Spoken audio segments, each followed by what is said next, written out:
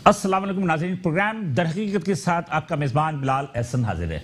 नाजरीन, पाकिस्तान की सियासत और मीशत दोनों ही इस वक्त आजमाइश से गुजर रही हैं। हर रोज हुकूमती इदारे, जिनमें ए पी आर है और वजारत ख़जाना है, वो अपने अपने मकासद के लिए बयान अखबार में शाया कराते रहते हैं, जिसका ना कोई सर होता है, ना कोई पैर होता है। अपनी अहमियत को उजागर करने के लिए हुकूमत डेली कुछ न कुछ आवाम की मीशत की दुरुस्तगी के लिए जीटीपी की ग्रोथ के लिए करंट अकाउंट खसारा। इन तीनों चीज़ों के ऐसे ऐसे हमें आदाद शुमार दिए जाते हैं कि जो यकीनी तौर पे एक आम आदमी, एक आम आवाम के सर के ऊपर से गुजर जाते हैं। पता ही नहीं होता कि ये जीडीपी ग्रोथ क्या है। शायद कि इनसे जो वाबस्ता लोग हैं, उन्हें ही पता हो कि करंट अकाउंट करंट अकाउंट खसारा क्या है। जीडीपी ग्रोथ क्या है। और आईएमएफ ने जो पॉलिसी दी है उस पॉलिसी के तहत जो है वो आ, क्या सूरत हाल होगी क्या सूरत हाल नहीं होगी? हर दिन हम कुछ ना कुछ सुनते रहते हैं। वज़ीर आज़म साहब मुल्क की तरक्की के लिए खासतौर पर मुआशी तरक्की के लिए बहुत बेताब नज़र आते हैं। लेकिन शायद कि उनके इल्म में नहीं है कि उनके जो अपनी मुआशी टीम के अफराद हैं वो मुस्तकबिल की हमत अमली से बिल्कुल बेबैरा नज़र आते हैं। उन्हें यह अंदाज़ा नहीं होता कि मुस्तबिल में क्या चीज़ उन्हें दरपेश होगी जिसकी वजह से मीशत की राह में रुकावटें खड़ी हो सकती हैं? जैसे जैसे ये कि सर्दी का सीज़न शुरू हुआ। सर्दी के सीज़न में गैस का इस्तेमाल बढ़ जाता है, लेकिन कोई भी ऐसी हिकमत अमली नहीं अपनाई गई पहले से कि गैस की जो किल्लत पैदा होगी, उस गैस की किल्लत को काबू कैसे किया जाएगा। अब वफाकी हुकूमत और सूबाई हुकूमत दोनों ही एक दूसरे पे डाल रहे हैं कि जनाब, आपकी गलती है, वो कहते हैं कि आपकी गलती है। अब सवाल ही पैदा होता है कि इन दोनों की गलतियों में आवाम पिसके रह गए। इस वक्त की जो सूरत हाल है, वो सूरत हाल ये है कि गैस की अदम दस्तियाबी के बायस सनतें बंद हो रही हैं सीएनजी स्टेशन बंद हैं। जो सुई सदन गैस कंपनी का एक मौकफ था कि घरेलू और कमर्शल साफिन की सहूलत के लिए हम सीएजी स्टेशन बंद कर रहे हैं और सनतों को गैस की सप्लाई भी कम कर रहे हैं। लेकिन अभी तक की इतलात के मुताबिक ये हैं कि कराची शहर सिंध भर के गाँव देहातों में, शहरों में भी जो है, घरों में भी जो है गैस की लोड शेडिंग हो जा रही है। दूसरी जानब, हमारे S M Es S M Es के लिए जो एफ़ बी आर ने फिक्स टेक्स्ट स्कीम जो अनाउंस की थी और साइज़ के हिसाब से उन पर फिक्स टेक्स्ट नाफिज करना था, दुकान की साइज़ के हिसाब से। तो उसकी पैमाइश के लिए बिहार की टीम जो है मुख्तलि बाजारों में पहुँच गई। वहाँ पर एक नई जो है, झगड़ा पैदा शुरू हो गया। दुकानदारों का कहना था कि इसकी पैमाइश नहीं करने देंगे। बिहार कह रही थी कि हम इसको पैमाइश करेंगे तो उसके बाद फिक्स टेस्ट का नफाज होगा। क्या होगा, क्या नहीं होगा, कुछ भी नहीं पता। हुकूमत अपने अंदाता आईएमएफ की हर बात को सही समझती है। जैसा कि आईएमएफ ने आज जो अखबार में शाया भी हुआ कि जो उनके सालाना रिपोर्ट है इसलाहत की 2019 की, उसमें उन्होंने पाकिस्तान की मुआशी ट्रैक को बहुत अच्छा कहा। हुकूमत भी खुश हो गई और वज़ीर सलारा ने एक बयान दाग दिया कि जनाब अली, मीशत सही ट्रैक पर जा रही है। महँगाई को हम पाँच फ़ीसद पर ले आएँगे, जबकि करंट सूरत हाल यह है कि बारह से तेरह फ़ीसद महँगाई मौजूद है। अवाम परेशान है। क्या होगा? हमें नहीं पता।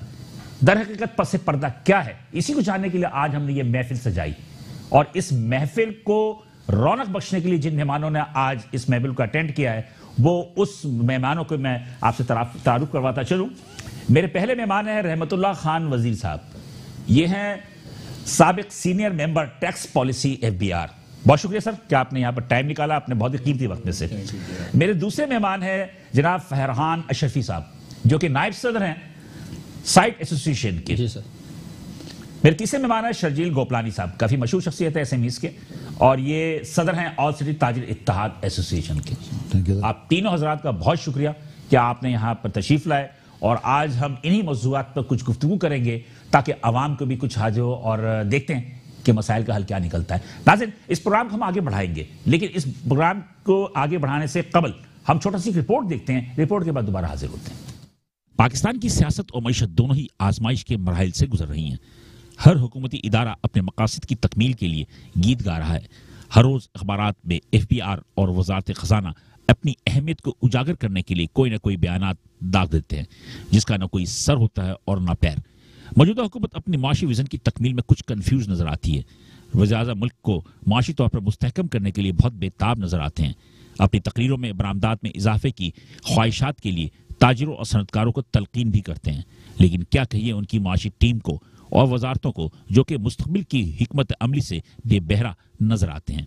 हर बरस कौम सर्दियों में गैस की कमी का शिकार नज़र आती है। मुतल इदारे सी एन जी स्टेशन, सनतें और आवाम को गैस के कम प्रेशर की कहानी सुनाकर एक जानब हो जाते हैं और पूरा मुल्क जहनी कर में मुबतला रहता है।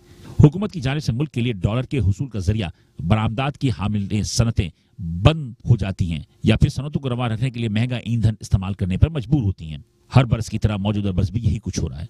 अब तो ये नौबत आ गई है कि सनतकार गैस की अदम दस्यारी बाकायदा एहतजाज करने की धमकी दे रहे हैं। दूसरी जानब मीशत के इस्तेकाम के लिए किरदार अदा करने वाले छोटे और दरमियानी ताजर हनूस एफ़ बी आर की पॉलिसियों से सख्त नाला नज़र आ रहे हैं। दुकानों के साइज़ के हिसाब से फिक्स टैक्स स्कीम पर एस एम को तहफात हैं। अभी ये तहफात खत्म नहीं हुए कि एफ़ बी आर की टीम शहर के मुख्तलिफ़ बाजारों में दुकानों की पैमाइश के लिए फीते लेकर पहुँच गई, जिसमें ताजरों की जानब से एक नया तनाज़ा पैदा हो गया। दूसरी जानब वजारत खजाना आवाम को या फिर वजी अजम को धोखा देना चाहता है कि कारोबारी माहौल बेहतर हो गया है और महँगाई कम हो रही है। मीशत के गंभीर मसाइल हल होना शुरू हो गए हैं। क्या गैस की अदम दस्तियाबी बिजली के बढ़ते हुए नर्ख और पानी की कामयाबी से सनतें तरक्की करती हैं? महँगाई की शरह हनूस बारह से तेरह फ़ीसद पर बरकरार होने के बावजूद आवाम मुतमिन है। आवाम पूछते हैं कि क्या यही तब्दीली है? वेलकम नाजरीन आपने एक रिपोर्ट देखी, हम दोबारा प्रोग्राम में हाजिर होते हैं और इस प्रोग्राम को मजीद आगे बढ़ाते हैं अब। सबसे पहले रहमतुल्ला खान साहब से।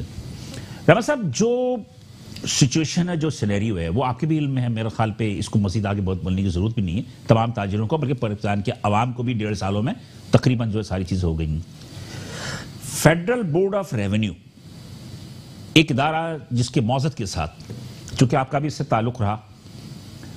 आवाम में और उसमें एक अच्छी साख का हामिल नहीं है। लोग समझते हैं कि एफ़ जो है वो आ, उसकी अपने अफसरान की तर्ज ज़िंदगी वो उनकी अपनी आमदनी से मुताबकत नहीं रखती नंबर एक। नंबर दो ये कि जो आप माशी पॉलिसी बनाते हैं क्या आपके ऊपर किसी का दबाव होता है? या आप ग्राउंड रियलिटी को देखते हुए एफ़ बी आर अपनी हमत में तरतीब देती है? थैंक यू बिलाल साहब. थैंक यू मेट्रो टेलीविज़न बात यह है कि जो एफ़ बी आर के अफसरान हैं उनकी या एफ़ बी आर का जो पॉलिसी बनाने में रोल है वो इतना ज़्यादा नहीं है. अच्छा। एफ़ बी आर एक प्रपोज़ल मसलन किसी भी इशू के ऊपर अगर एक प्रपोज़ल बना लेता है तो वो प्रपोज़ल ज़रूरी नहीं कि आगे थ्रू हो। इसलिए कि फेडरल गवर्नमेंट में जो पॉलिटिशियंस हैं, जो पॉलिटिकल लीडरशिप है, उनका फाइनल से होता है। पॉलिसी बनाने में फाइनल से उनका होता है। बिहार की शायद 20-25 परसेंट तक की कोई कंट्रीब्यूशन हो पॉलिसी बनाने में, किसी भी इशू का कोई भी प्रपोजल बना प्रपोजल तो बना लेते हैं, लेकिन फाइनली थ्रू सिर्फ़ वही प्रपोजल होते हैं जो पॉलिटिकल लीडरशिप को एक्सेप्टेबल होते हैं। दूसरी आपने ये बताया कि जी वो जो बिहार के अफसरान हैं उनकी तर्ज ज़िंदगी या जो लिविंग स्टैंडर्ड है वो उनकी जो तनख्वाहें हैं उससे मुताबिकत नहीं रखती। असल में बिलाल साहब बात यह है कि जो बिहार की तनख्वाहें हैं ये अगर आपको याद होगा जब शौकत अज़ीज़ साहब आया था तो उन्होंने जो हमारी तनख्वाहें थी वो ज़्यादा कर दी थी। हम्म। और इसको मार्केट बेस कर दी थी। तो तनख्वाहें जो इस वक्त बिहार के अफसरान की है या बिहार के साथ जो फ़ील्ड के अफसरान हैं उनकी तनख्वाहें अच्छी खासी हैं। और मेरा ख्याल है कि वो जो तनख्वाहें हैं, उसमें उनका गुजारा हो सकता है अच्छा खासा, क्योंकि डबल तनख्वाहें हैं। यानी मैं जब लास्ट अब मैं रिटायर होने के बाद दो लाख से ज़्यादा मेरी पेंशन है महीने की, और जब मैं रिटायर हुआ था तो तकरीबन पौने चार चार लाख के करीब मेरी तनख्वाह थी। तो मैं समझता हूँ कि जो तनख्वाहें हैं ए बी आर और इसके फ़ील्ड फॉर्मेशन की वो बिल्कुल मैच करती हैं उनके स्टैंडर्ड ऑफ़ लिविंग से क्योंकि ये पिछले 2002 से तकरीबन जुलाई 2002 से उनकी डबल तनख्वाहें हैं जब शौकत अज़ीज़ साहब आए हम्म। अच्छा अब रही बात ये कि टैक्स की टैक्स की जो नफाज है जो अभी भी मास्ते चल रहे थे जो कि आपके कुछ अथॉरिटी बनाने की बात थी कि एफ़ को हम कुछ रिवाइव करेंगे इसे इनकलाबी इकदाम करेंगे उसकी जानब भी बिल्कुल सस्पेंड हो गया कि एफ़ बी आर के अफसरान ने बड़े ही शोर शाम किया। आपसे हमारी बात भी हुई थी कि उस पर काफ़ी से ज़्यादा तहफात थे एफ़ बी आर को, जिसकी वजह से उस अमल को जो है वो बिल्कुल रोक दिया गया। आप क्या कहते हैं? सही किया गया? मैं समझता हूँ कि जो एफ़ बी आर की या जो नेशनल रेवेन्यू अथॉरिटी का जो प्रपोजल है वो सिर्फ़ उसी वक्त प्रैक्टिकेबल हो सकता है जब फेडरल गवर्नमेंट और सूबे एक ही आ, आ, टेबल पे हो। ठीक है। चारों सूबे और फेडरल गवर्नमेंट अगर कोई भी इस किस्म की कोई अथॉरिटी बने, क्योंकि इस वक्त जो है, सूबे के पास भी बड़ा इख्तियार है, उनके रेवेन्यू अथॉरिटीज़ हैं रेवेन्यू बोर्ड हैं, और उनके पास जो सेल टैक्स एंड सर्विसेज़ हैं बहुत बड़ा चंक जो है। इस वक्त सर्विसेज़ की कंट्रीब्यूशन हमारी जीडीपी में 59 परसेंट है। तो सेल टैक्स एंड सर्विसेज़ सूबों के पास है अपने अपने डोमेन में। तो अगर एक अथॉरिटी उसको इस तरह बनानी है कि उससे ईज ऑफ़ डूइंग बिज़नेस हो और वन वन विंडो ऑपरेशन हो तो वो तो उस वक्त मुमकिन है कि चारों सूबों सूबे और फेडरल गवर्नमेंट एक ही टेबल पे आए एक ही पेज पे हो। और उसके बाद फिर ये मुमकिन है कि ये इस किस्म की कोई अथॉरिटी बने। जब तक कि या तो कॉन्स्टिट्यूशन में अमेंडमेंट करना पड़ेगा या ये है कि रेवेन्यू अथॉरिटी को अगर एक एडमिनिस्ट्रेटिव हायरार्की बनानी है तो भी सबको मिल के बनाना पड़ेगा। सिर्फ़ फेडरल गवर्नमेंट अलहदगी में इस किस्म की कोई आ, कोई अथॉरिटी नहीं बना सकती। लेकिन बात वही होती है ना कि अभी तो आपने कहा कि थोड़ी सी जो उस बात को मैं कर दूँ अटैच कि आपने कहा कि वो जो आपकी तनख्वाहें हैं एफबीआर की वो उनके लाइफ स्टाइल से मैच करती है ना।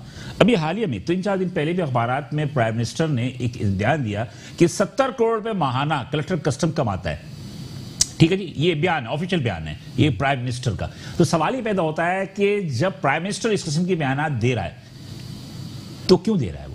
मैं समझता हूँ कि वज़ीर आज़म साहब को आ, बयान से पहले देखना चाहिए कि ऐसा तो नहीं है कि मैं बयान दे रहा हूँ वो अपने खिलाफ एक चार्जशीट क्रिएट कर रहा हूँ। यही इसलिए कि अगर कोई कलेक्टर इस किस्म के काम कर रहा है जैसे वज़ीर आज़म साहब ने पब्लिकली बताया जी। उसको अवॉइड करना चाहिए इस तरह की स्टेटमेंट इसलिए कि अगर वो इस किस्म का बयान जारी कर रहा है तो वो तो उनके खिलाफ एक चार्जशीट क्रिएट कर रहा है अपने अपने खिलाफ। तो मैं समझता हूँ कि इस किस्म की चीज़ नहीं होनी चाहिए। अगर है तो उसके खिलाफ एक्शन लें।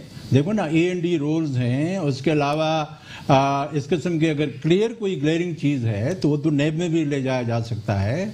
और फेडरल बोर्ड ऑफ़ रिवेन्यू में, और एफ़ आई ए में, और इदारे हैं, और उनके खिलाफ ए बी आर के अपने एक मेकनिज़म मौजूद है ला में।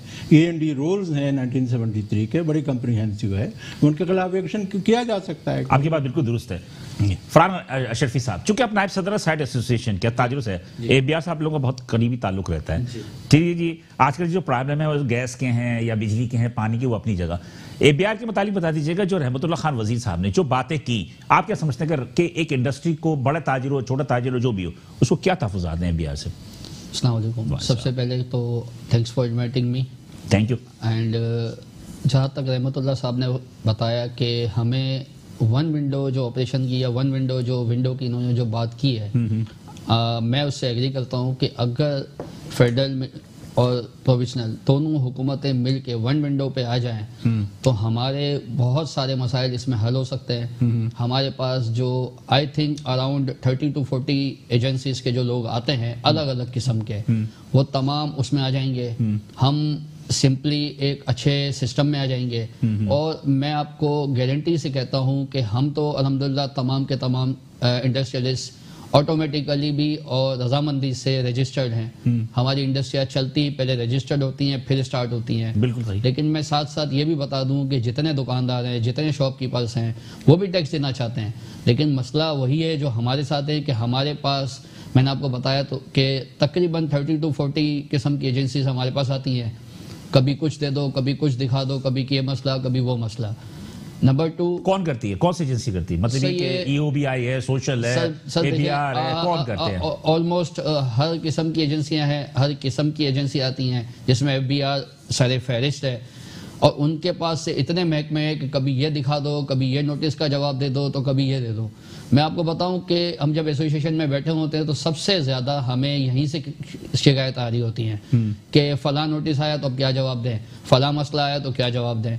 तो हमारा तो दिन समझ लें कि ताजिर अब जो हमारा इंडस्ट्रियलिस्ट है उसका दिन एक आदमी या तो वो अच्छा पे पे रखे जो कि हो भी एफ़ का रिटायर तब तो हम जीत सकते हैं इनसे बातचीत रहमतुल्लाह करने में। को कि- कि बात लेना। वो तो मैं ये तो आपको मैं बता रहा हूँ कि ये हमारी मजबूरी बना दी है। ये हाँ। हमारे कॉस्ट ऑफ़ डूइंग बिज़नेस में ये हमारे लिए अच्छा नहीं है। आप समझें कि इस ये तो मतलब कोई वे ही नहीं हुआ ना कि हम इनका आदमी रिटायर रखें और फिर उनसे हम काम सीखें। मतलब हमने तो आसान बिज़नेस करना है। हमें आप आप ये कहना चाह रहे हो कि एफबीआर के जो अपने कवानीन है वो बहुत पेचीदा हैं? वो इतने ज़्यादा पेचीदा हैं कि मैं आपको विद गारंटी कहता हूँ कि इनके अपने अफसरान भी इसमें ज़्यादा उनको भी अवेयरनेस नहीं है कि आज जैसे कोई अगर एस आता है तो आप अगर किसी मैं आपको विद गारंटी कह रहा हूँ कि किसी उस अफसर को फ़ोन करके पूछे कि यार इसका क्या मतलब है तो वो भी कहता है यार मुझे अभी एक दो दिन लगेंगे इस, इसको समझने में। तो आप समझिए कि उनको अपने को नहीं पता कि उनको क्या लागू किया जा रहा है उनके क्या थोपा जा रहा है। मेरे ख्याल में शब्बर जैदी ने अभी इस्लामाबाद में कहा कि जो फॉर्म आया है इनकम टैक्स का उसके तो बहुत सारी शिकायतों तो मैं खुद नहीं भर सकता। yes, yes. तो ताजिर कहाँ से भरेंगे? एग्रीड एग्रीड ऐसा ही है बिल्कुल ऐसा ही है बिल्कुल ऐसा ही है। चले। तो मतलब ये कि बाप ये समझते हैं कि फिर भी बहरहाल पहले से हालत बेहतर है। आ, सर मैं आई डोंट थिंक सो कि मैं एग्री नहीं हूँ इससे। क्योंकि आपने खास तौर पे मैं अगर इस वक्त टेक्सटाइल सेक्टर की बात करूँ जिसका पाकिस्तान में सबसे बड़ा रेवेन्यू जनरेट जो करता है उस पर जब से आपने S R O S R O eleven twenty five हटाया है रिमूव किया है इसके बाद से मैं आप समझता हूँ कि ये एक्सपोर्ट नहीं बढ़ेगा। आप जितने भी तरीके अपना लें आप जिस तरीके से भी कर लें ये पहले भी प्रैक्टिस हो चुकी है। हमारे सीनियर्स ने इस पर बहुत ज़्यादा वर्किंग की। हमारे सीनियर्स ने इस्लामाबाद में जाके एक एक आदमी को जाके समझाया। अच्छा वो आदमी वहाँ एग्री भी हो जाता है लेकिन अफसोस पता नहीं क्या मसला है। किस किस्म की शराइत हैं कि उनको वो बात नहीं मानी जाती। मेरा मकसद ये है कि आप खुद सोचें कि एक एक्सपोर्टर किस तरीके से ये मजीद सत्रह परसेंट का बर्डन अपने ऊपर डालेगा जबकि उसकी कैपेसिटी ही कम है? सेल्स टैक्स के हवाले से? यस जी। अब वो सेल टैक्स कहाँ से मतलब उसको मिलना भी आपको पता है कि ये मतलब हमारे यहाँ जो प्रैक्टिस सही है कि छह महीने से पहले तो आदमी पूछता भी नहीं है कि हाँ भाई कोई चांस है। अब उसके बिहाफ पे हो ये रहा है कि हम 17 परसेंट जो हमारा सेल्स टैक्स है हम उसमें अबाउट 8 टू 7 परसेंट कॉस्टिंग में डालते हैं। क्योंकि हमें पता है कि हमें मिलना ही नहीं है। या मिलना है तो पता नहीं किस सूरत में और कितना मिलना है। तो जब वो हम 17 परसेंट का हाफ़ जब अपनी कॉस्टिंग में डालने लगते हैं तो हमें एक्सपोर्ट का ऑर्डर नहीं मिलता। लाजमी सी बात है कॉस्ट हमें वो कॉस्ट ऑफ़ हमारी बढ़ जाती है। दूसरी तरफ़ लेटेस्ट आप लोगों ने अभी सुना ही होगा कि अनाउंस हुआ है कि हर तीन महीने बाद आईएमएफ की जो कि शर्त है कि बिजली और गैस के नर्क बढ़ाए जाएँगे। बिजली की तो बढ़ा दी बिजली के जनवरी में भरने और गैस की भी आवाज़ अभी अभी बढ़ा दिया मेरे ख्याल में दोबारा फ्यूल एडजस्टमेंट चार्जेस के मद में वो अलग है। फ्यूल एडजस्टमेंट हाँ, अलग लगाई जा से। रही है। तो किस तरीके से? और आपको मैं बताऊँ कि हमने जो लास्ट 2016 से जो फ्यूल एडजस्टमेंट हम पे डाली जाएगी हमने उस वक्त की कॉस्टिंग में बिज़नेस में इसको कॉस्ट में तो लिया ही नहीं था। अब हम उसको लाएँगे कहाँ से? हम इनको पे कैसे करेंगे? मतलब इन्होंने जो हब हमसे लेना है वो हम लाएँगे कहाँ से? पहले मुझे ये बता दें आप कैसे होगा? बात यह है कि बड़े गंभीर मसाइल है नाजिन। सिंपल सी बात यह है कि हम चाहेंगे कि इस मामले को थोड़ा बहुत वो डिस्कशन की जाए। इसलिए बातचीत के ज़रिए बहुत सारी चीज़ें हल होते हैं। रहमतुल्लाह साहब साहब से हम बहुत सारे मशावरत लेते रहेंगे बात भी पूछते रहेंगे। प्रोग्राम का सिलसिला भी जारी है। यहाँ पर हम छोटा सा ब्रेक लेंगे। ब्रेक से आने के बाद शजीर गोपलानी से, जो कभी इस्लामाबाद से भी होकर आए थे, इसी अखबार के हवाले से तो उनका वहाँ क्या बातें हुई, क्या मसाइल हुए, हम उनसे बात करेंगे। लेकिन एक छोटे से वक्फे के बाद। साथ रहिएगा वेलकम बैक नाजरीन प्रोग्राम दर हकीकत में हम दोबारा हाजिर हैं और आज हम जिस प्रोग्राम में गुफ्तु कर रहे हैं, वो नेचुरली इकोनॉमिक को जो हायल दुश्वारियाँ हैं जिसमें खासतौर पे बी आर है, गैस की प्रॉब्लम है, पानी है, और दीगर बहुत सारे प्रॉब्लम हम थोड़ा थोड़ा करके सबसे करेंगे। और मेरे हमरा जो है इस वक्त मेहमान मौजूद हैं स्टूडियो में, वो है रहमतुल्ला खान वज़ीर साहब, जो कि सबक सीनियर मेंबर टैक्स पॉलिसी हैं, फिर ये फरहान अशरफी हैं, जो कि नायब सदर हैं साइड एसोसिएशन के, और शजील गोपलानी हैं, जो कि सदर हैं, और साटी- ताजिर इत्तेहाद के।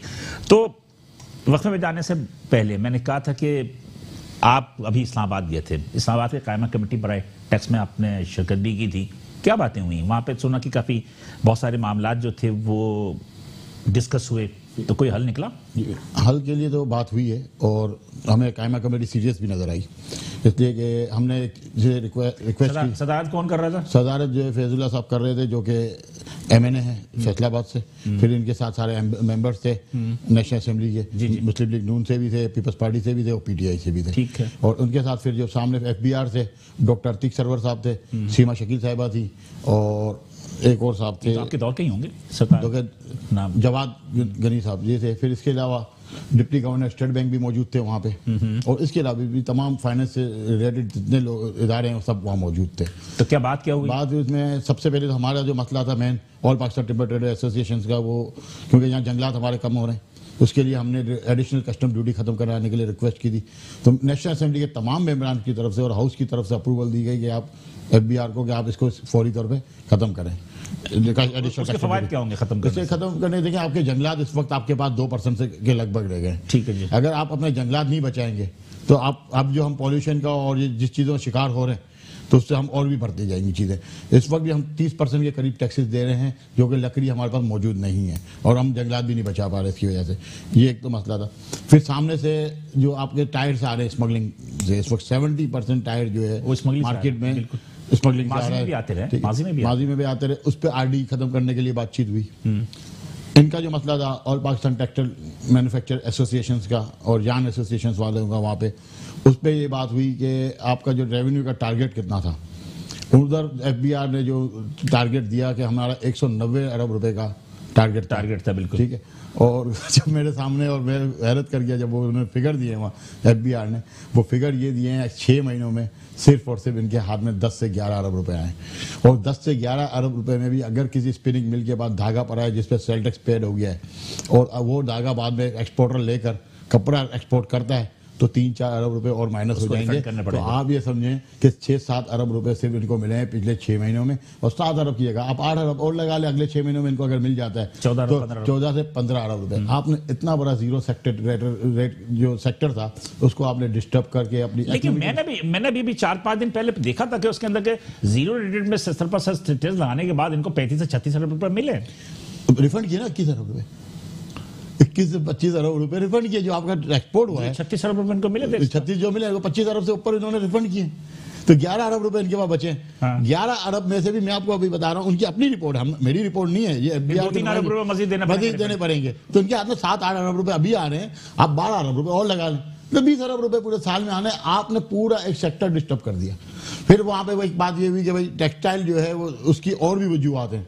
जो हमारी एक्सपोर्ट कम हुई चालीस अरब डॉलर से ऊपर जो है सिर्फ़ बांग्लादेश एक्सपोर्ट कर रहा है। आप तो बीस बाईस अरब रुपए में भी नहीं रहे। बांग्लादेश आपसे सारी टेक्नोलॉजी लेके गया आपसे मार्केट लेकर गया। देखिए जी उसका एक मसला है। देखिए बांग्लादेश के लोग तस्करा करते हैं ना तो उसमें जीएसपी प्लस है उसके पास।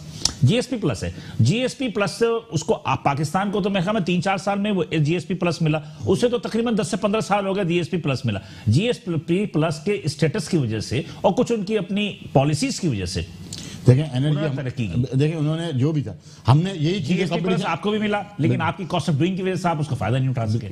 सीधी सी बात है। आपकी एनर्जी महँगी होती जा रही है डे बाई डे ठीक है? आपकी लेबर जबकि दुनिया में सबसे सस्ती लेबर आपके पास है आप उसका फ़ायदा नहीं उठा पा रहे।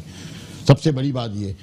फिर जो दुनिया में इस वक्त कंपटीशन है आप कंपटीशन में आप कम से कम एक सेक्टर तो आपके पास टेक्सटाइल का था जिसको आप रिलीफ देते।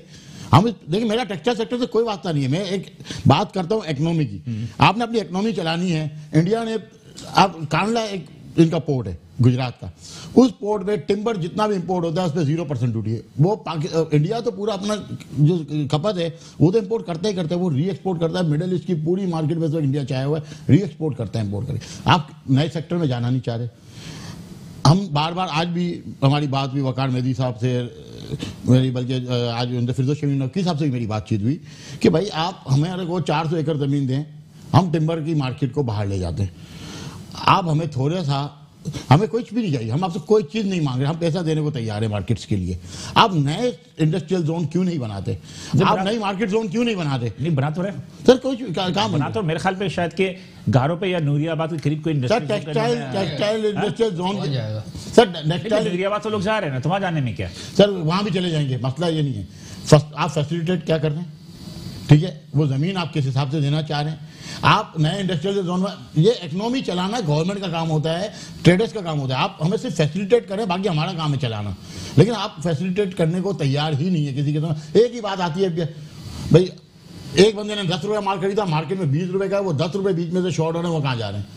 भाई वो दस रुपए इन्वेस्टर भी होगा। बैंक भी उठा रहा होगा, सूद पे भी पैसा कहीं से चल रहा होगा, बहुत सी सेक्टर्स हैं। लेकिन आप उसको ढूँढने के चक्कर में अपनी इकोनॉमी को तो डिस्टर्ब नहीं करें। हमारा एक एग्रीमेंट हुआ आपके साथ दो महीने पहले, जिसमें एक बात क्लियर हो गई कि भाई इतने लोगों को हम फिक्स टैक्स में लाएँगे। अब वो एफ़ बी आर में क्या बोल रहे हैं बुला के? जो मीटिंग हुई है लास्ट उनका एक ही टारगेट है भाई हमने सेल टैक्स में लोगों को बढ़ाना है। आप पहले उसको इनकम टैक्स में आने दें। आप आज फीता लेके पहुँच उसकी दुकान पर आप छोड़ें उसको। उसको बोला, भाई तेरी दुकान कितने की तीन सौ स्क्वायर फीट है। आप अपना पेपर लिख के दे दो। मतलब उसकी बात पे एतमाद करें। एतमाद करें। भाई बाद में अगर वो गलत कोई बयानी करता है दस परसेंट पंद्रह परसेंट बीस परसेंट पच्चीस परसेंट लोग अगर गलत बयानी करते हैं पिछहत्तर परसेंट लोग तो आपको सही बयानी करें। तो आप उसको में नोटिस दे दें। या एसोसिएशन को बुलाएँ कि भाई ये शर्जील भाई ने हमारे को लेकिन बहरहाल फिक्स टैक्स की तो बात हुई थी तो वो तो एफबीआर ने सही किया ना। नहीं, तो सर, टैक्स की बात हुई थी।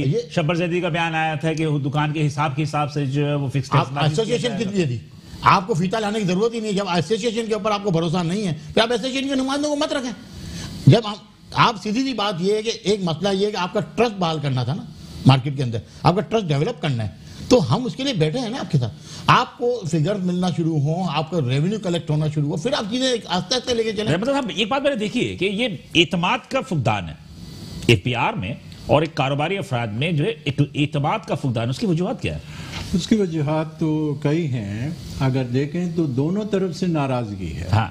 एबीआर का ख्याल ये है कि जो हमारे ट्रेडर्स हैं और ख़ासकर जो स्मॉल ट्रेडर्स हैं छोटे छोटा जो तबका है एसएमईज जो है। वो हाँ वो सही मानों में कंट्रीब्यूशन उनकी बहुत कम, कम है। है। शायद जीडीपी में इनका कंट्रीब्यूशन है 16 17 या 18 परसेंट और इनका टैक्स में कंट्रीब्यूशन 2 परसेंट के करीब है। तो बिहार का ख्याल ये है कि इनकी कंट्रीब्यूशन लेकिन एक्चुअली इनकी टैक्स की कैलकुलेशन का किसी को सही अंदाज़ा नहीं है। जो मैं समझता हूँ जो कमर्शियल एस्टेब्लिशमेंट है इस वक्त वो अपने बिजली के बिल में इनकम टैक्स भी दे रहा है और सेल टैक्स भी दे दे रहा है। बिल्कुल दे रहा है। एक तो देखे ना जो इनकम टैक्स जो है बिजली का बिल अगर चार सौ अस्सी रुपए भी हो महीने का तो अस्सी रुपए शुरू हो जाता है। और आगे जाके दस परसेंट तक चला जाता है। यानी बिल का दस परसेंट तक उसमें इनकम टैक्स चार्ज हो जाता है। उसके अलावा जो सेल टैक्स है अगर बीस हज़ार तक की मंथली जो है बिल है बिजली का तो उस पर तकरीब एक पाँच परसेंट है बीस हज़ार पचास हज़ार के दरमियान है तो साढ़े सात परसेंट है। नॉर्मल रेट के अलावा यानी उसमें सत्रह परसेंट भी देना है और उसके बाद साढ़े सात परसेंट भी देना है। तो वो वो उनके बिजली के बिल में होता है। एक दफ़ा हमने कैलकुलेशन किया था ज- की थी जब मैं बिहार में था तो इन लोगों ने तकरीबन दोनों टैक्सेस मिला के पचास पचपन अरब रुपए साल के दिए थे। जो इस वक्त गवर्नमेंट ला रही है जो फ़ूड के हिसाब से और फरमाइश के हिसाब से बात यह है कि जो पहले वाला टैक्स है उसको कहाँ ले जाएँगे? उनको भी आपने मिनिमम टैक्स कर दिया जब 10 परसेंट तक पहुँच जाता है। बिजली के बिल में इनकम टैक्स भी है सेल टैक्स भी है। ये अगर आप इनकम टैक्स लगाना चाह रहे हैं तो वो इनकम टैक्स पहले या तो उसको खत्म कर लें या ये है कि अगर वो सही मानों में कलेक्ट हो रहा है पहले वर्किंग तो कर लें। कि उसमें कलेक्शन कितना आ रहा है जो बिजली के बिल में है और बिजली का बिल में चार्ज होके बिजली वाला आपको दे भी रहा है या नहीं दे रहा है? नहीं दे रहा है चेक भी किया कि जो कमर्शियल एस्टेब्लिशमेंट है दुकानदार है और कारखाने भी है हर एक के ऊपर कोई ना कोई टैक्स किसी न किसी मद में है। बिल्कुल, वो टैक्स देखने की ज़रूरत है और फिर उसके बाद जो नया सिस्टम ये टैक्स लगाना चाह रहे हैं हम्म। उसको देखें कि दोनों में फ़र्क कितना है। इसमें ज़्यादा टैक्स आएगा या जो पहले टैक्स आ रहा है वो काफ़ी है? हम्म। मैं समझता हूँ कि हुकूमत को ये देखना। और बिहार को खासकर ये टैक्स लाने से पहले उनको देखना चाहिए कि ये जो हमारे मुल्क में है कितने लेकिन कमर्शियल मेरा ख्याल है कि अभी जो इन्होंने सिस्टम शुरू किया है कि बड़े बड़े जितने भी डिपार्टमेंटल स्टोर्स हैं या जो हैं कि उनकी सिस्टम से एपीआर के सिस्टम को लिंक कर रहे हैं।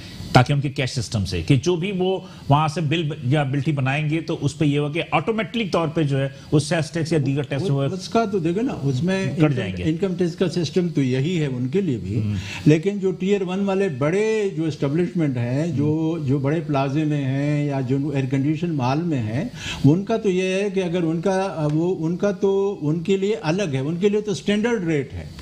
उनको अपना गुशवारा भी जमा करना है इन सेल टैक्स का और उस गुशवारे की बुनियाद पे इनपुट टैक्स भी लेना है और आउटपुट टैक्स का दोनों का डिफरेंस करके जमा करना मैं, है मैं, मैं सिर्फ़ डिपार्टमेंट स्टोर की बात नहीं कर रहा। मैं तो कह रहा हूँ कि उन्होंने तो कहा है कि जनाब जितने भी दुकानदार हैं जितने भी दुकानदार हैं वो उनके जो कैश सिस्टम जो उनका बिलिंग का है उसकी कंप्यूटराइज से वो एबीआर की सिस्टम को कनेक्ट वो डिपो सिस्टम लाना चाह रहे हैं डायरेक्ट पॉइंट ऑफ़ सेल वो ठीक है वो तो चाइना में है चाइना का वही सिस्टम वो दोबारा यहाँ लाना चाह रहे हैं। अभी जो आपने बात की ना कि वो टैक्स की कटौती करते हैं हुकूमत को जमा कराते भी कि नहीं कराते तो इससे थोड़ी सी बचत हो जाएगी। जी। ये भी देखने की बात है कि वो हुकूमत को दे रहे हैं या नहीं दे नहीं रहे हैं। और दूसरा ये कि उनकी उनका अगर किसी का साल का छः लाख का बिल है या कमर्शियल या इस तरह के कोई बड़े माल में कमर्शियल माल में तो उनको नॉर्मल रेट से सेल टैक्स देना है।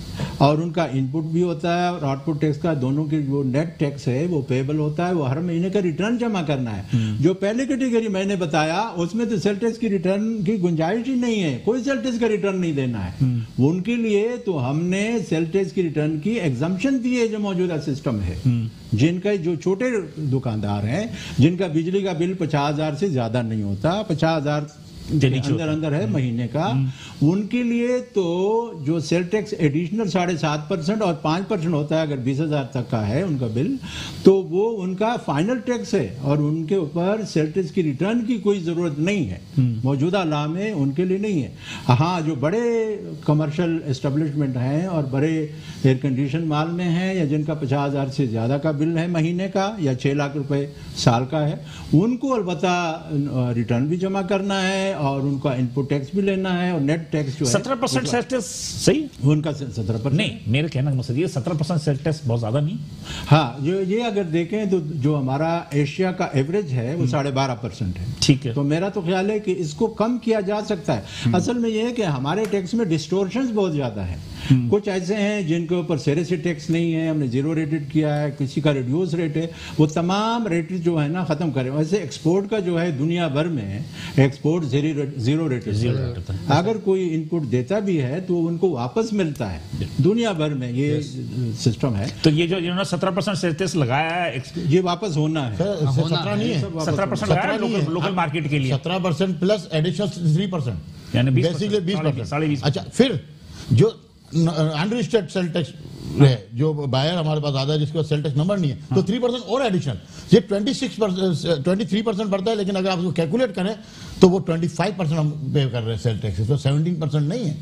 ये जाती है। ये ये ज़्यादा है बहुत ज़्यादा। आप ट्वेंटी फाइव परसेंट सिर्फ़ सेल टैक्स फिर आप विदोलिंग टैक्स वो भी आप जैसे कह रहे हैं कि एक्सपोर्ट ओरिएंटेड को जितने भी हैं उनका ज़ीरो परसेंट होना चाहिए। वो उनको हाँ उनका ज़ीरो रेट ज़ीरो परसेंट का मतलब ही यही है ज़ीरो रेटेड का कि उनको वापस हो जाता है। अगर वो उनका हो इनपुट स्टेज पे यानी अर्लियर स्टेज पे उन्होंने कोई सेल टैक्स दिया है तो उनको वापस हो जाता है। परचेजेस पे दिया है कोई केमिकल्स पे दिया है किसी और चीज़ पे दिया है पैकिंग पे दिया है तो वो वो जो उनको सेल टैक्स है वो उनको वापस हो जाता है सर वो जो वापस होता है उसमें भी एक मसला सुने ना। अभी जो इन्होंने बात की नहीं, एट परसेंट हम कॉस्टिंग में डाल रहे हैं तो एट परसेंट जो कॉस्टिंग में डल रहा है वो क्या है? उसका इम्पैक्ट किस पे वो क्या है? आप उसको अगर सोचे कि उसको 17 परसेंट रिफंड लेने के लिए पाँच परसेंट एडिशनल और खर्चा करना पड़ता है। इसमें करते हैं। नाजन यहाँ पर हम छोटा सा एक थोड़ा सा आ, ब्रेक लेते हैं। ब्रेक के बाद जो है अब गुफ्तु फाइनल स्टेज पे जा रही है और हम देखेंगे कि उसके बाद हमारे मेहमान जो है क्या क्या गुफ्तु करते हैं और क्या आपको आगाही देते हैं। एक छोटा सा ब्रेक लेते हैं साथ रहिएगा। वेलकम नाजरीन, प्रोग्राम दरअसल हम दोबारा हाजिर हैं। साथ रहने का शुक्रिया। और गुफ्तु का जो है, अब बहुत ही फाइनल स्टेज पे गई है। रहमतुल्ला खान मेमन साहब ने वज़ीर साहब ने जो बातें की हैं, यकीनी तौर पे मेरा अपना जाती रहा है कि बहुत सारी चीज़ें जो जहन के दरीचे भी खुले होंगे और कुछ हमारे दोस्तों को भी जो इंडस्ट्री से तारू उठते हैं उनकी भी बात होगी। आप कुछ कह रहे थे कि एक परसेंट को हम एडजस्ट करेंगे? कहाँ लेके जाएँगे कुछ जाने से पहले आप? जब सत्रह परसेंट इनसे लेने के बाद रिफंड की कहानी जाती है। इन्होंने एक बात एक बड़ी ज़बरदस्त बताई फरहान भाई ने कि हम आठ परसेंट अपने कॉस्टिंग में डाल देते हैं। वो कॉस्टिंग में क्यों डाल रहे हैं आठ परसेंट? वो इसलिए डाल रहे हैं कि जब रिफंड लेना है तो लाजमी बात है फाइव सिक्स सेवन परसेंट का देना पड़ रहा है ना अंडर टेबल तो रिफंड मिलेगा। पाकिस्तान का सिस्टम आपको सबको पता है कि वो क्या है। और प्राइम मिनिस्टर साहब ने जो पचास करोड़ की छूट दे दी है तो वो एक वो लाइसेंस हो गया है। अब जो कि वो किक बैक देने पड़ेंगे। हाँ, उसके बगैर रिफंड हो ही नहीं सकता ना। आपको अगर इंडस्ट्री चलानी है अगर आप सीरियस हैं हाँ। तो उनको ज़ीरो रेटेड पे आपको ले जाना पड़ेगा। इसके अलावा आप एक सेक्टर से आपके पास सिर्फ़ एक्सपोर्ट का। आप हर बाकी सारी चीज़ों से तो आप आउट हो चुके हैं। आप राइस से आउट हो चुके हैं आप हर चीज़ से आउट हो चुके हैं। और एक आपका टेक्सटाइल चल रहा है आप उसको भी नहीं चलने देना चाह रहे। तब आप कैसे, आप कैसे मुहिब वतन हैं? आप कैसे जो है इकोनॉमिस्ट हैं? आप कैसा मुल्क चलाना चाह रहे हैं? दुनिया में कहीं भी तो कहीं भी मतलब ये कि पाकिस्तान का नसीब सिर्फ़ टेक्सटाइल है? नहीं टेक्सटाइल आप टेक्सटाइल कितना बड़ा सेक्टर है?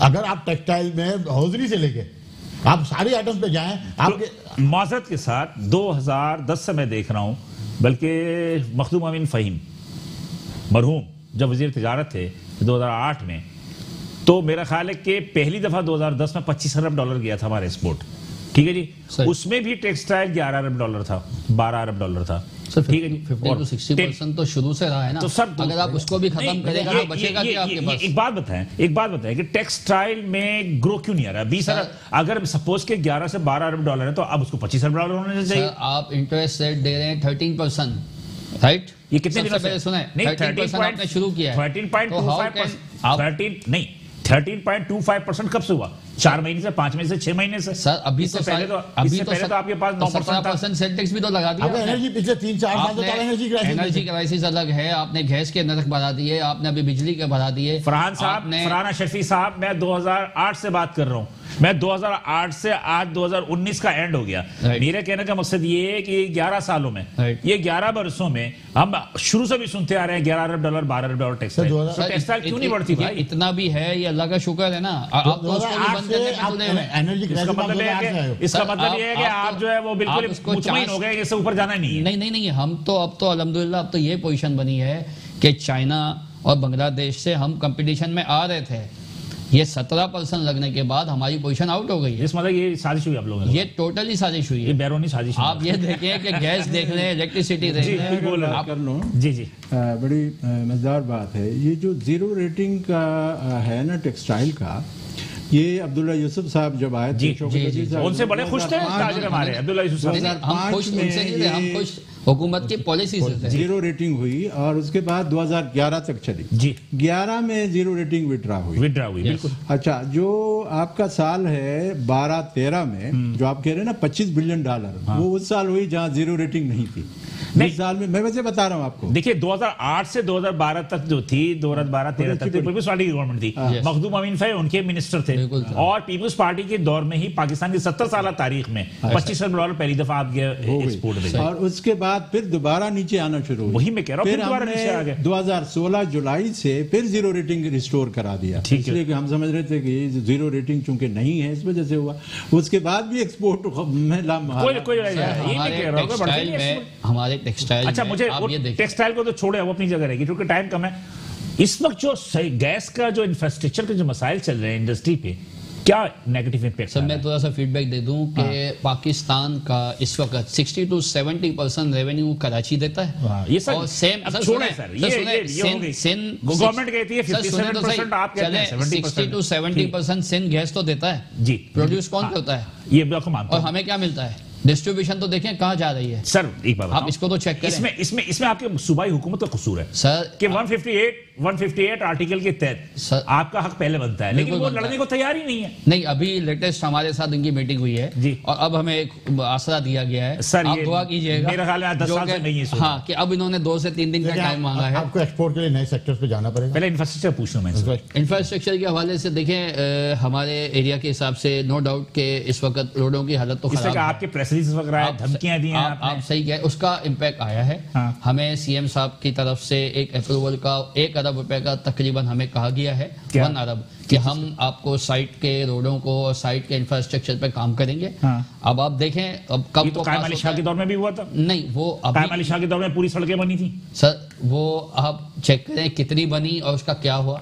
आप अभी की बात करें कि अभी ताजरों का एक, एक छोटी सी प्रॉब्लम है। छोटी सी प्रॉब्लम ये है कि अपनी तकरीब में बड़े बड़े लोगों को बुलाते हैं मिनिस्टर को बुलाते हैं उनके सामने जो है सर बुला के उनको बताया यही जा रहा होता है। क्या कुछ उनको बुला के बताया जाता है। बाकायदा फ़िल्में दिखाई जाती हैं बाकायदा इनको रिकॉर्डिंग दिखाई जाती है। गैस की कमी इससे क्या हुआ? आप लोग एहतजाज की धमकी दे रहे थे कि अगर नहीं अब कुछ तो कुछ बेहतरी की करेंगे। तरफ़ कुछ बेहतरी की तरफ़ है लेकिन आज भी हमारी 70 टू 75 परसेंट फैक्ट्रीज वो बंद है जो कि गैस पे चलती है। अभी भी साइट एरिया की है? सर तकरीबन आठ से दस रोज हो चुके दस रोज हो गए। हो चुके हैं। जितने सीएनजी बंद हुई इधर आपकी सर बिल्कुल ऐसी पोजीशन है। ठीक है। अब- तो तो मतलब ये कि ये सारे एक्सपोर्ट ओरिएंटेड है? हाँ हाँ ऑब्वियसली आप फिर समझें कि टेक्सटाइल वो सेक्टर है जो गैस का यूटिलाइज करता है सबसे ज़्यादा। अब उसका काम ही एक्सपोर्ट है उस, उसमें प्रोसेसिंग ही है। और प्रोसेस होगा तो कपड़ा बनेगा। जब तैयार होगा तो गारमेंट जाएगा तो एक्सपोर्ट होगा। एक्सपोर्ट का टारगेट कैसे पूरा होता है? ये तो आप पूछें खान साहब से तो आपकी जो पाकिस्तान जो हमें बना के दे आप सीएम साहब से आपकी मीटिंग हुई आपकी मुलाकात से तो क्या कह रहे हैं? सीएम साहब से हमें रिगार्डिंग इंफ्रास्ट्रक्चर हुआ है। हम्म। दूसरा हमें मिनिस्टर जो फॉर इंडस्ट्रीज़ जो है उन्होंने हमें कहा है कि नहीं हम फेडरल से फाइट कर रहे हैं। और इंशाल्लाह आपका गैस का जो प्रेशर का मसला है वो भी बेहतर होगा। अब लेट सी दो चार दिन की बात है सामने आ जाएगी। लेकिन पिछले कई सालों से ये मसला अपनी बात। यह है कि वफाकी वज़ीर तवानाई उमर अयूब साहब ने आज से तीन दिन कबल एसएससीसी का दौरा करते हुए जो बयान जारी किया उस बयान में ये था कि जो नए कुएँ सिंध में खोदे गए हैं उससे एसएससीसी के सिस्टम को कनेक्ट करने के लिए right of way government Sindh ने नहीं दिया। जिसकी वजह से वो पाइपलाइन की तामीर नहीं हो सकी जिसकी वजह से ये तमाम मसाइल हुए। अब आपको उनके एक वज़ीर कह रहे हैं कि वफाक से हमारी बात हो रही है।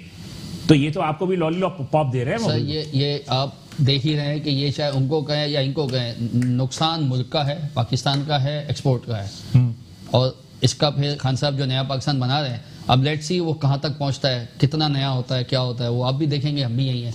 मेरे ख्याल में खान साहब का जो नया पाकिस्तान है वो बिल्कुल न्यू कराची की तरह ही होगा मेरे ख्याल में। मुझे तो अंदाज़ा है कि जो हशर जो न्यू कराची का हुआ है कराची के अंदर जो कि नया दारुलुकमा नई दिल्ली की तरह पे बन रहा था लेकिन वो बन कुछ और गया। तो मेरा कहना मतलब है कि खान साहब का भी जो नया पाकिस्तान है मेरे ख्याल में वो भी उसी तरह लग रहा है मुझे। हो। मेरे तो ख्याल है कि इसमें जो गैस की कनेक्शन के आप बता बता रहे हैं कि उन्होंने नहीं दी है। नहीं दी। तो इसका मतलब फेडरल गवर्नमेंट की ज़िम्मेदारी है। बात करें ना जी। फेडरल गवर्नमेंट जो है वो बड़ा भाई होता है। यस सूबे में अगर दूसरी हुकूमत है दूसरी पार्टी की तो उसके तो ज़्यादा करीब होना चाहिए तो भाई अगर ये एहतजाज नहीं करेंगे तो सुबह हुकूमत बदनाम कैसे साइड एसोसिएशन की पॉलिसी और कराची चैम्बर की पॉलिसी हमेशा जो है हुकूमत की मफामत पसंद रही है कभी एहतजाज नहीं है। और ये कभी भी जब तक बच्चा रोएगा नहीं जब तक बच्चा रोएगा नहीं माँ भी दूध नहीं पिलाती।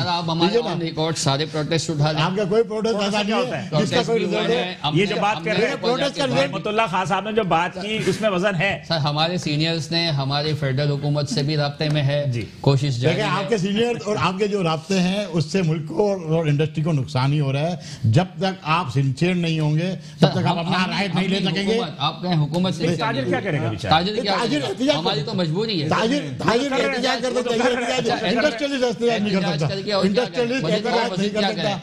एहतजाज- का एक तरीका भी होना मैं एक बात कर रहा हूँ। देखो ना जो पेट्रोल है और गैस है इसके ऊपर आ- आईनी तौर पे फेडरल गवर्नमेंट और सूबाई का फिफ्टी फिफ्टी परसेंट बिल्कुल बिल्कुल। बिल्कुल ऐसा ही है। और इनको चाहिए कि वफाकी हुकूमत सूबे के पास आके वज़ीर वज़ीर जो पेट्रोलियम का है या सॉरी या पेट्रोलियम और का गैस का तवानाई का जो वज़ीर है एनर्जी का। वो बैठ जाए यहाँ पे और ये कनेक्शन तो जल्दी करवा लें जो कुएँ हैं और आपके पास गैस भी मौजूद है। वो तो कह रहे हैं कि हमने खो लिया था और आज से छह महीने पहले वफाक ने सिंध से कहा था कि राइट ऑफ़ वे दो हमें ताकि वो जो नए कुएँ हैं और सीसी सिस्टम को कनेक्ट करने के लिए पाइपलाइन की इस्टाब्लिश कर दी तो जाए। लेकिन उन्होंने वो जगह नहीं दी। हाँ। उनका कहना था कि उन्होंने जगह नहीं दी। आप ये तो अब बात है बहाने। पे बहाने। सही है। लॉलीपॉप पे लॉलीपॉप ये तो लॉलीपॉप है सीधे- सीधे लॉलीपॉप है। अच्छा प्रोग्राम खत्म हो रहा है जल्दी जल्दी बता दीजिए कि क्या देखिए हमें नए नए इंडस्ट्रियल जोन की तरफ़ जाना पड़ेगा। अगर एक्सपोर्ट बढ़ाना चाह रहे हैं हाँ। आपको नए सेक्टर्स में जाना पड़ेगा। टिम्बर का सेक्टर है आपका फिशिंग फिशिंग है, और कार्गो कार्गो। बोर्ड्स का आपका एक बहुत बड़ा सेक्टर था बंद हो चुका है। जी, जी, ठीक है आपको नए आपको आईटीज में जाना पड़ेगा लेकिन आप अभी तक कहीं सिंसियर नज़र नहीं आ रही गवर्नमेंट मेरा कहना है कि इस वक्त मौजूदा मौजूदा जो एक्सपोर्ट का जो टेक्सटाइल सेक्टर है उसको सत्रह परसेंट जीएसटी से फारिग कर दिया जाए। इलेवन ट्वेंटी फाइव का जो मसला है उसको एसआरओ को जो हटाया गया है वो दोबारा नाफिज किया जाए। आई थिंक सो कि इससे आपको बेहतर क्योंकि देखें इसका नुकसान एक ये हो रहा है कि कौन सा है? Eleven? Twenty five double one two five इसका सबसे बड़ा लॉस इससे ये हो रहा है मार्केट में। अभी दो दिन पहले भी छह कंपनीज़ को एफबीआर ने इस वक्त ब्लैक लिस्ट किया है। क्योंकि फेक इन्वाइसेस का काम स्टार्ट हो चुका है जो हमारे लीडर्स ने पहले ही बताया था कि ये सब होगा। अब आप समझें कहाँ जाएँ। मतलब टू फाइव की बात कर रहे हैं मैं ये मैं ये कह रहा हूँ 1125 का तो एक अलग है। आपने इंडस्ट्री की बात की। मैं समझता हूँ कि हुकूमत पाकिस्तान को चूँकि इस वक्त इकनॉमिक स्लो डाउन है रिसेशन है उनको न टैक्सेस आएँगे न कोई और तरक्की होगी इकनॉमिक ग्रोथ भी नहीं होगी जीडीपी की डिक्लाइनिंग ट्रेंड्स हैं तकरीबन हर सेक्टर में। हुकूमत को चाहिए कि 500 अरब का एक फंड क्रिएट करें और एक्सपोर्ट ओरिएंटेड इंडस्ट्री के लिए कारखाने लगवाएँ नया खून ला, लाने की ज़रूरत है। हमारी इंडस्ट्री को नया खून ज़रूरत है कोई दस बारह हज़ार नए लोगों को ले आए कारखाने लगाए अभी देखो दुबई ने 18 बिलियन डॉलर मार्केट में इंजेक्ट कर रहा है क्योंकि वहाँ भी स्लो डाउन हो गया है। और इससे पहले थाईलैंड ने 11 बिलियन डॉलर मार्केट में इंजेक्ट किया हुकूमत अगर लीड न करें तो हमारी इंडस्ट्रियल ग्रोथ हमारी एग्रीकल्चर बाकी जो है स्लो डाउन है मुल्क में। और इनको न टैक्सेस की मद में जो टारगेट है वो हासिल होंगे।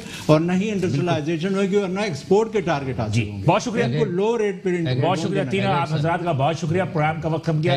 नाजिन बहुत सारी बातें थी जो हम कर सकते थे लेकिन ये टाइम की किल्लत की वजह से हम बहुत सारे सवाल भी नहीं कर सके। लेकिन बहरहाल सूरत हाल क्या है ये हमसे बेहतर आप जानते हैं। फैसला करना आपका काम है कि ये माजी का पाकिस्तान है या, या नया पाकिस्तान है। बिलाल हसन को इजाज़त दीजिए इंशाल्लाह अगले हफ़्ते इसी दिन इसी प्रोग्राम में आपसे दोबारा मुलाकात होगी। अल्लाह हाफिज़।